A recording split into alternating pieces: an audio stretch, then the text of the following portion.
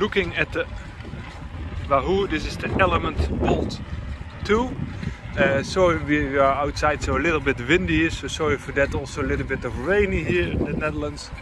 But uh, a good time to just test some uh, bike computers. So the Garmin 1030 Plus, the Hammerhead Karoo 2, and a Chinese rip-off. This is 100, I think 120.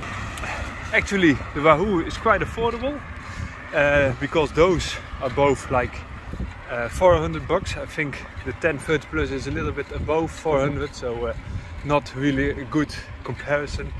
This Wahoo is very nice. It's the best readable, I think, of all those devices. Also uh, big enough. It looks very good on the bike. I put it on the steer, of course, uh, with its own mount. And of course, it should really be like kind of here so I made that mistake. So just stopped for a second. So with this button you can just swipe through all the screens. You can just set those lights up depending on speed heart rate and other things. So you get like a Formula One kind of dashboard.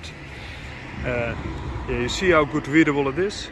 Also well looking at it from different corners so I think it's the best one. So this is really terrible.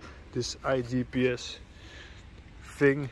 Had a hammerhead also good, but yeah, I think it's a little bit of lacking some uh, cleanness uh, compared with the uh, Wahoo.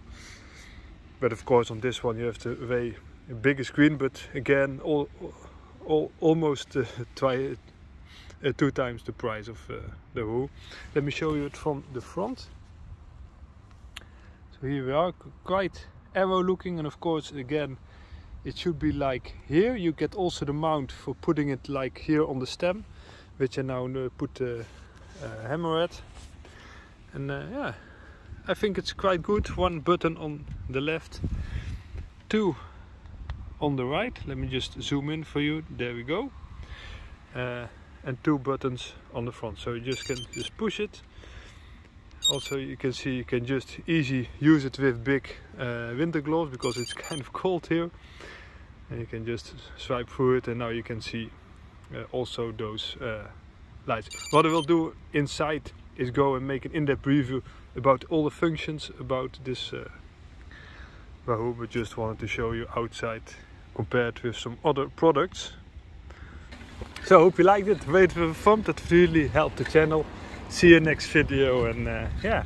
Please subscribe if you want to see more and more bike computer videos and bike related stuff. See you. Bye bye